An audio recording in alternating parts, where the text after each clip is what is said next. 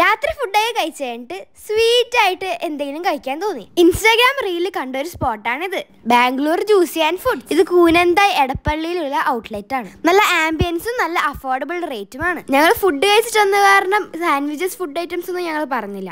ഞാൻ പറഞ്ഞത് sizzling brownie ആയിരുന്നു. നല്ല സെറ്റപ്പ് സാധനമായിരുന്നു. ഐസ്ക്രീമും ബ്രൗണിയും ആ ബോയിലിംഗ് ചോക്ലേറ്റ് ഒക്കെ എന്റെ പൊന്ന് ഒരു രക്ഷയില്ല. ഇത് നല്ല ഹെവി ആയിരുന്നു എനിക്ക് ഫുള്ള് കഴിക്കാൻ പറ്റിയില്ല. നെക്സ്റ്റ് പറഞ്ഞത് സ്പെഷ്യൽ ഫലൂഡ ആയിരുന്നു. ഇത് നല്ല ടിപ്പിക്കൽ ഫലൂദേന്റെ ടേസ്റ്റ് ഉണ്ടായിരുന്നു നല്ല ഫ്രൂട്ട്സും ഐസ്ക്രീമും ഒക്കെ ആയിട്ട്. നമ്മുടെ നെക്സ്റ്റ് ഐറ്റം ബെൽജിയം ചോക്ലേറ്റ് ആണ്. ഇതിനും നല്ല റിച്ച് ചോക്ലേറ്റ് ഫ്ലേവർ ഉണ്ടായിരുന്നു. ചോക്ലേറ്റിന്റെ ഐറ്റംസ് പൊതുവേ എനിക്ക് ഇഷ്ടമുള്ളത് കൊണ്ട് എനിക്ക് ഇത് ഇഷ്ടപ്പെട്ടു ഫൈനലായിട്ട് നമ്മൾ വാങ്ങിച്ചത് ഓറഞ്ച് സോഡയാണ് എനിക്ക് മാത്രമായിരുന്നു ഇത് ഇഷ്ടപ്പെടാത്തത് ബാക്കി എല്ലാവർക്കും ഭയങ്കര ഇഷ്ടപ്പെട്ടു. എനിക്ക് ഇഷ്ടപ്പെടാത്ത കാരണം അത് സ്വീറ്റും ഉപ്പും കൂടിയായിരുന്നു.